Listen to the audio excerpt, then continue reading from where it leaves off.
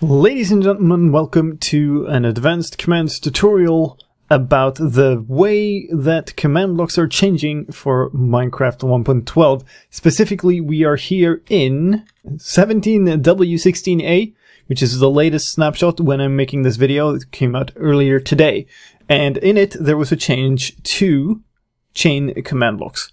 Now, there was actually a little bit more of a change than just chain command blocks, but that's the important part. And the, as I mentioned in my update video, the patch notes just say optimized chain command blocks. However, it's a great deal more than that. So let me explain to you exactly how command blocks worked and how they work now. So we have an impulse command block, and that is needs redstone, and whoops, and we have a chain command block, so let's set that to always active. This is a very, very basic setup. What happens if I was to run a command, or indeed just switch this button over so that it says always active?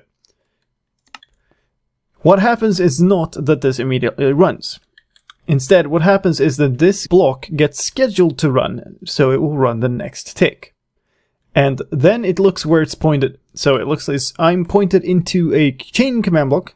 Okay, that's fine. So I'm going to schedule that one as well. So now we have two command blocks that are both going to run next tick. And then we can add a third one. And now we have three command blocks and they're all going to run next tick. So that seems like a perfectly fine thing.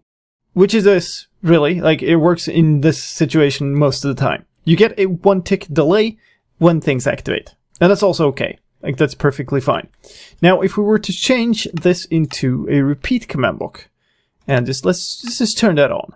And we're gonna do uh, game rule command block help list false here to not spam ourselves like crazy. But essentially what happens now is that every tick, this thing runs. And because it's a repeating command block, it's going to schedule itself to run again the next tick. That's what keeps it ticking, so to speak. So now we have this repeating command block, and it's scheduling itself to repeat, and then it's looking the same way the impulse command block did. Uh, what am I pointed into? Okay, I'm pointed into a chain, so we're going to schedule this. So this thing essentially schedules three blocks to tick every tick before it's done anything, and then they all run because they were scheduled. That's how it used to work. Now there's a very, very simple problem with this, and it comes up a lot in map making actually, is when I switch this thing off, it doesn't instantly switch off. So because I've already scheduled the entire chain to run, it's going to run again the next tick. So when you switch something off, you get an extra tick. That's that's pretty annoying. So basically, if I was to, so let's uh, let's do something here. So let's to say one in this, and we're gonna get spammed with ones, and then we're gonna get say say two, and then over here we're gonna switch this one off. So if we actually switch it off now, you see I set the command, and then we got one two, and then it stopped. So what happens if I do slash block data on this, and then we do auto zero. So this switches that block off through a command, and we put that in here. And then we switch this on, and you see that it runs once. And that's the change. If in previous snapshots, or in previous versions of Minecraft, all the way back to when the repeats and chains were added, all of the command blocks would have run a second full turn. So that's pretty useful because pretty often what happens in map making is you leave a state of something and you want to switch one clock off and you want to switch to another one. And currently in uh, entrapment has lots of logic dealing with the fact that this stuff might run um, second time. There's actually a way around it involving fill commands, filling blocks next to these and stuff. But it will be very nice to not have to do that. So that's nice, but it doesn't seem so revolutionary, does it? Well, the one thing more than this that has changed is because we no longer schedule the chain command blocks, as we are executing here, so this one gets scheduled. When it runs, it looks here, runs this one, looks here, runs this one, looks here, runs this one, and so on. All of this is now happening in order. Which means that, let's say we just uh, do a construct something like this. And, well, when I'm here, I can actually do a set block here to change this block. So, let's say that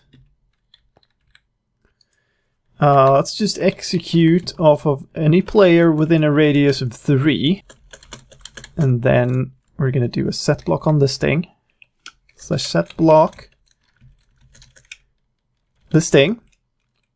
To be a chain command block uh, facing west. So that switches it that way. This is the command that we're going to run through this execute.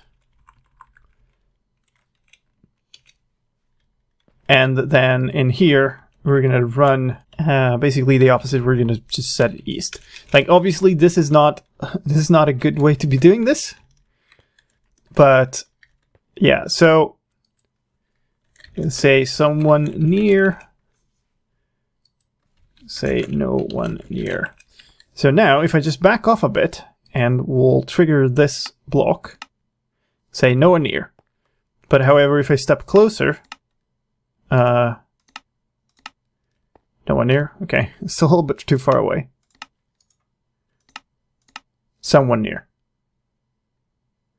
This is if, then, else in command blocks. And it's running in time, there's no tick delays. This is so super common. Such a common scenario, what we wanted for a long time, and we can now do it. So, what would probably normally be more of the case is you wouldn't do that, you would do something like this. Because then you can actually hear somewhere down the line, merge these two streams into one again. And then you're, this is basically like a block of commands that gets executed on each side, depending on what this is. You could even keep on going with empty command. Oh, come on. placement of command blocks. Empty command blocks like this, and then you turn aside if you want to do something, otherwise you just let it run through. And since these are empty, they're going to be pretty quick to run through. So this opens up a lot of possibilities that we previously didn't have, or were very, very annoying to do. Alright, so here's a little bit more of a visual representation of this. Um, we have the particle commands in all of these. This is just a repeating command blocks that drives this. And here are two switches. So this one will just set a block facing west, and this one will set a block facing east if I am within a radius of 5. So now we can just see that this switches over as I come closer. That's the game changer. Now there are some questions then. What happens if you were to do something like this?